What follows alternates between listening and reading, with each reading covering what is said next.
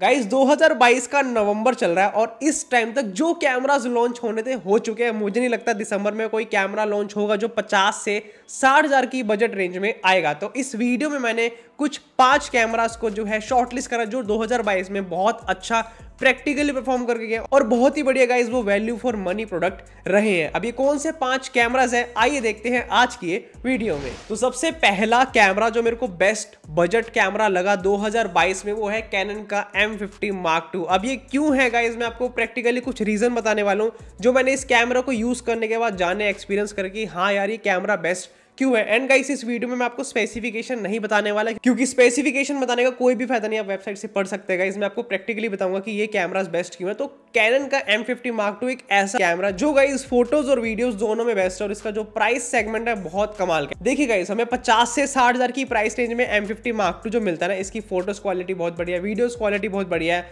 आपको sixty thousand में mirrorless का पूरा एक्सपीरियंस मिलता है और सबसे बेस्ट चीज़ गाइस इसमें फ्लिप स्क्रीन है, जो कि बहुत काम आती है वीडियो परफॉर्मेंस के लिए. तो जो लोग वीडियो शूट ज़्यादा करते हैं कंटेंट क्रिएशन करते हैं ब्लॉगर्स हैं यूट्यूब पे वीडियोस बनाते हैं, उनके लिए कैमरा गुड टू गो है। बहुत ही बढ़िया ये परफॉर्म करता है। चाहे आपको 4K वीडियो शूट करनी हो या फिर फुल एचडी लेकिन 4K वीडियो में क्रॉप करेगा बट फुल एचडी में बहुत अच्छी वीडियो इसमें बना सकते हैं। और दूसरी चीज़, इस कैमरा की जो मेरे को बेस्ट लगी वो है ई एफ़ लेंसेज का सपोर्ट माउंट लगाकर। देखो गाइज़ आप सभी जानते होंगे, आजकल लेंसेज बहुत ज़्यादा महँगे आते हैं, लेकिन ई एफ़ लेंसेज अभी भी अफोर्डेबल है और सारे बहुत कमाल के काम करते हैं। चाहे E F fifty M M हो सेवेंटी टू टू हंड्रेड हो मतलब हमें बीस हज़ार से लेके डेढ़ लाख, दो लाख तक सारी रेंज मिल जाती है ए एफ़ लेंसेज में, बहुत अच्छे अच्छे लेंसेज है, सारे हम इसके साथ यूज़ कर सकते हैं। तो जो लोग पचास से साठ हज़ार पे खर्च कर रहे हैं, मुझे नहीं लगता वो प्रैक्टिकली बहुत महँगा लेंस लेना पसंद करेंगे। वो भी वही लेंस लेना पसंद करेंगे जो बहुत सही बजट में आता हो। तो गाइस जितने भी ई एफ़ लेंसेज है, आपको बहुत अच्छे बजट में मिलने वाले जो आप इसके साथ लगा सकते हैं और आप अपने अकॉर्डिंग बहुत तरह के लेंसेज की वेरायटी चूज़ कर सकते हैं। कैनन M50 मार्क टू के साथ में। तो ओवरऑल गाइज़ आपको बताओ ना फ़ोटोज़ और वीडियोस दोनों में ये कैमरा बेस्ट है टच स्क्रीन है मिररलेस कैमरा है, और पूरी स्क्रीन पर गाइज़ हमें फोकस पॉइंट्स मिलते हैं। फोकसिंग में कोई भी दिक्कत नहीं चाहे आप इससे फोटोग्राफी करें वीडियोग्राफी करें, दोनों में बेस्ट काम करता है। और एक चीज़ मेरे को इस कैमरा की सबसे अच्छी ये लगी गाइज़ इस बजट में दूसरे ब्रांड में अगर हम जाए, जैसे कि नाइकोन है, उसमें जेड थर्टी आता है, उसमें गाइज़ व्यू फाइंडर ही नहीं है, वो सिर्फ़ वीडियो में अच्छा है। इसमें गाइज़ आपको व्यू फाइंडर मिलता है, वो भी इलेक्ट्रॉनिक बाकी फ्लिप आउट एलसीडी स्क्रीन तो है जो टच कंट्रोल के साथ काम करते हैं तो गाइज़ पूरा ऑल इन वन कैमरा आपको एक बजट सेगमेंट में कैनन का एम फिफ्टी मार्क टू मिलता है। दैट्स वाई मेरे को ये प्रैक्टिकली बढ़िया लगा और मैं इसे बहुत टाइम से यूज़ करूँ आप बहुत सारी मेरी वीडियोस देखते ना, उसमें बहुत ज़्यादा यूज़ किया होता है मैंने। तो एम फिफ्टी मार्क टू मैं सबसे पहले नंबर पे रखना चाहूँगा। अगर मैं बात करूँ बेस्ट बजट कैमरा 2022 में। अब दूसरा कैमरा जो मैं रिकमेंड करना चाहूँगा बेस्ट बजट सेगमेंट में, वो एक डी है। जो लोग डीएसएलआर को पसंद करते हैं, जो डी परचेज करना चाहते हैं, वो कैनन का two hundred D mark two इसी ब्रांड का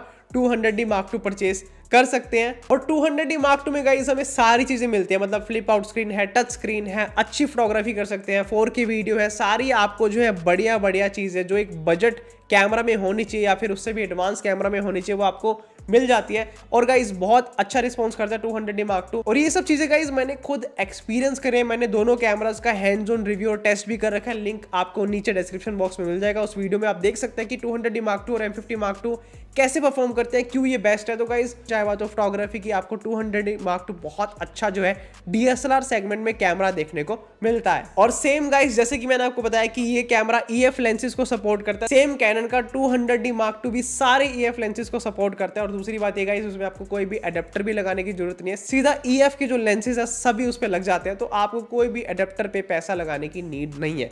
But only difference Canon M fifty mark two two hundred D mark two में यह है कि वो एक डीएसएलआर है और एम फिफ्टी मार्क टू जो है मिररलेस कैमरा है। तो जो लोग डीएसएलआर को पसंद करते हैं डीएसएलआर वाले सेगमेंट में जा सकते हैं मिररलेस को पसंद करते हैं मिररलेस में जा सकते हैं। लेकिन दोनों ही अपनी जगह बेस्ट है। बट दोनों कैमरा में से अगर मैं ये बताऊँ कि मैं कौन सा कैमरा किस चीज़ के लिए प्रेफर करूँगा तो मैं गाइज़ वीडियो के लिए चूज़ करूँगा कैनन का एम फिफ्टी मार्क टू और फ़ोटोज़ के लिए चूज़ करूँगा कैनन का two hundred D mark two third camera guys जो मैं आपको बताने वाला हूँ, ये एक ऐसा कैमरा है जो उन लोगों को टारगेट करता है जो प्रीमियम सेगमेंट का कैमरा खरीदना चाहते हैं, लेकिन ज़्यादा पैसा नहीं लगाना चाहते। तो फूजी फ़िल्म का एक्स टी टू हंड्रेड एक ऐसा कैमरा जो आपको पचास से साठ हज़ार की प्राइस रेंज में मिल जाएगा। Top of the line brand है, बहुत बढ़िया ब्रांड है फूजी फ़िल्म और स्पेशली टारगेट करता है फोटोग्राफर्स को, क्योंकि इन कैमराज की कलर साइंस बहुत अच्छी होती है। तो जो लोग गाइज़ एक प्रीमियम ब्रांड में जाना चाहते हैं, अच्छी क्वालिटी के लेंसेज यूज़ करना चाहते हैं, कुछ out of the box camera लेना चाहते हैं कि अगर आप हाथ में पकड़े तो लोग देखें। कुछ अलग तरीके का कैमरा इसके हाथ में है तो गाइज़ वो है फूजी फ़िल्म का एक्स टू आपको जनरली सबके पास ये कैमरा नहीं देखने को मिलेगा, लेकिन गाइज़ ये कैमरा मेरे को फोटोग्राफी में ज़्यादा बेटर लगा।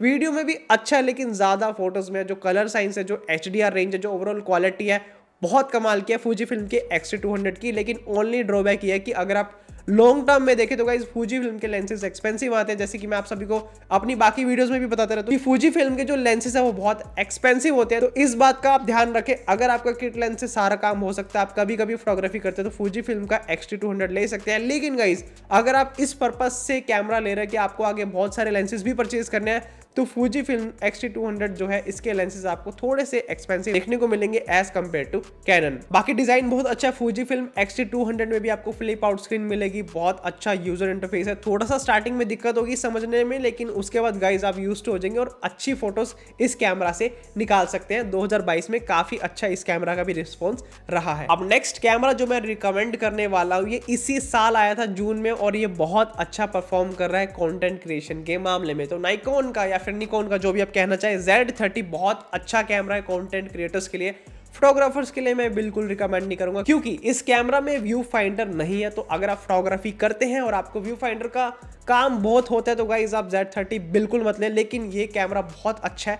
Z30 की सबसे अच्छी बात यह है कि इसी साल लॉन्च हुआ लेटेस्ट डिज़ाइन है लेटेस्ट प्रोसेसर है फ्यूचर प्रूफ है फोर के कैमरा है गाइज़ कंटेंट क्रिएटर के हिसाब से बनाया वीडियो प्रोडक्शन में बहुत बढ़िया काम कर सकते हैं, और निकोन का one of the best budget camera Nikon Z30 है। और इस कैमरा की सबसे अच्छी बात मेरे को ये लगी कि इसके अंदर फुल एचडी वीडियो में 30 मिनट्स की कोई लिमिटेशन नहीं है। अगर आप 30 मिनट से ऊपर की वीडियो बनाना चाहते हैं निकोन Z30 में बना सकते हैं, चाहे आपको 40 मिनट की बनानी हो पचास की बनानी हो, कोई भी लिमिटेशन आपको नहीं मिलती। सेकेंड थिंग गाइस इसमें भी फ्लिप स्क्रीन है और मिररलेस टेक्नोलॉजी है तो आपको कोई भी दिक्कत नहीं रहने वाली अगर आप वीडियो शूट कर रहे हैं। फ्लिप आउट स्क्रीन करके आप ब्लॉगिंग भी कर सकते हैं कॉन्टेंट क्रिएशन कर सकते हैं यूट्यूब वीडियोज़ रील्स कोई भी इस तरह का काम करते हैं जहाँ पे आपको कंटेंट क्रिएट करना है गाइज़ आप निकॉन का Z30 ले सकते हैं। बहुत ही बढ़िया जो है कैमरा है। फोर की है ऑटो फोकस भी अच्छा है और ओवरऑल जो टेक्नोलॉजी है फ्यूचर प्रूफ कैमरा है। इसकी वीडियो परफॉर्मेंस गाइज़ निकॉन के डी थर्टी फाइव हंड्रेड या फिर डी फिफ्टी सिक्स हंड्रेड जैसी नहीं है कि फोकस लैक करो या फिर कोई भी दिक्कत हो। बहुत अच्छे से जो है ये कैमरा वीडियो परफॉर्मेंस देता है। और निकॉन के जेड थर्टी का लेने का एक फ़ायदा ये भी है कि आपको जितने भी लेंसेज मिलेंगे जेड सीरीज़ के लेटेस्ट लेंसेज मिलेंगे तो जो भी आप प्रोडक्ट निकॉन का लेंगे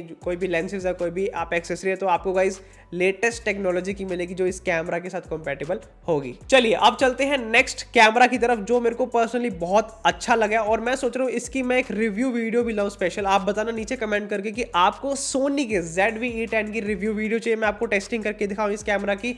अगर आपको ऐसी वीडियो चाहिए तो गाइस नीचे कमेंट ज़रूर करें। तो निकोन का जेड वी टेन बहुत ही बढ़िया कैमरा है कंटेंट क्रिएटर्स के लिए या फिर उन लोगों के लिए जो वीडियोस को बहुत ज़्यादा शूट करते हैं।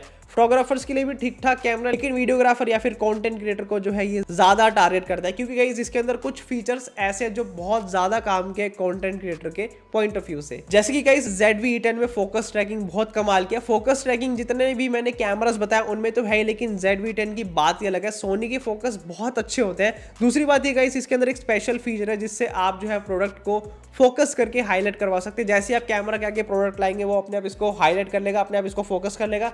जैसे हटाएँगे, आपके ऊपर फोकस आ जाएगा और जो ट्रांजिशन है वो बहुत स्मूथ है। इस चीज़ को बहुत अच्छे से उन्होंने जो है कैमरे में इंडल्ज किया। एंड सेकंड थिंग गाइज़ जो भी लोग रील्स या फिर यूट्यूब शॉर्ट्स बनाते हैं और स्लो मोशन वीडियोस बहुत ज़्यादा डालते हैं तो गाइज़ वो जेड वी में बहुत अच्छा स्लो मोशन कर सकते हैं। इसमें स्लो मोशन का बहुत बढ़िया फीचर है। बाकी ब्लरी बैकग्राउंड अच्छी crisp sound overall four video quality and nice colours के साथ आपको Sony Z V ten videos में क्वालिटी दे सकता है। और सोनी के जेड वी ई टेन की एक खास बात यह है कि आप इससे लो लाइट वीडियोग्राफी या फिर सिनेमाटोग्राफी बहुत अच्छी कर सकते हैं। बट गाइस सोनी के जेड वी टेन अगर आप लेते हैं तो आपको इसके लेंसेज बहुत महँगे देखने को मिलेंगे। सोनी के सभी लेंसेज बहुत महँगे और लेंसेज गाइस इसलिए महँगे होते हैं क्योंकि उनके अंदर जो क्वालिटी होती है, जो ग्लासेस होते हैं, बहुत ज़्यादा प्रीमियम क्वालिटी के, बहुत ज़्यादा पॉलिश होते हैं, जिसकी वजह से उसकी कॉस्ट काफ़ी ज़्यादा बढ़ जाती है, ताकि अच्छी से अच्छी क्वालिटी निकल गया जब भी आप इससे शूट करें। तो सोनी के लेंसेज नो डाउट महँगे, लेकिन क्वालिटी भी गाइज़ वो बहुत बढ़िया डिलीवर करते हैं, चाहे आप फोकसिंग की बात कर ले या फिर लो लाइट की या फिर ओवरऑल परफॉर्मेंस की। बाकी डिज़ाइन की बात करूँ तो जैसे बाकी सारे कैमराज आ रहे हैं फ्लिप आउट स्क्रीन के साथ, ताकि ब्लॉगिंग सही से कर सके कॉन्टेंट क्रिएशन सही से कर सके, इसी तरह से इसका डिज़ाइनर है। लेकिन इसके अंदर जो माइक लगाया वो बहुत अच्छी क्रिस्प साउंड रिकॉर्ड कर सकता है, यानी कि आपको एक्सटर्नल माइक लगाने की काफ़ी हद तक नीड नहीं पड़ेगी। और गई उसके साथ आपको विंड फर भी देखने को मिलता है, जिससे आप विंड रिडक्शन जो है कर सकते हैं। तो सोनी का जेड वी टेन भी एक बहुत बढ़िया ऑप्शन है, जिनका बजट थोड़ा सा अच्छा और जो इसके लेंसेज को अफोर्ड कर सकते हैं। तो ये पाँच कैमरास जो है मेरे को बेस्ट लगे 2022 में पैसों के हिसाब से। इससे अच्छे और भी कैमराज आते हैं, लेकिन वो और महँगे होते जाते हैं। साठ, सत्तर, अस्सी के आते हैं एट्टी थाउज़ेंड जैसे कैनन का आर टेन है, अभी है, बहुत अच्छा कैमरा लेकिन महँगा है, वो बजट सेगमेंट में नहीं आता। तो गाइज़ ये जो पाँच कैमराज है, इनमें से आपको कौन सा कैमरा बेस्ट लगा, मुझे नीचे कमेंट बॉक्स में ज़रूर बताएँ। एंड गाइज़ ये वीडियो हेल्पफुल लगी वीडियो अच्छी लगी तो वीडियो को लाइक एंड चैनल को सब्सक्राइब ज़रूर करें। मिलते हैं आप सभी से अगली वीडियो में, और सभी कैमराज के लिंक आपको नीचे डिस्क्रिप्शन बॉक्स में मिल जाएँगे। आप वहाँ से उनकी और भी जानकारी ले सकते हैं।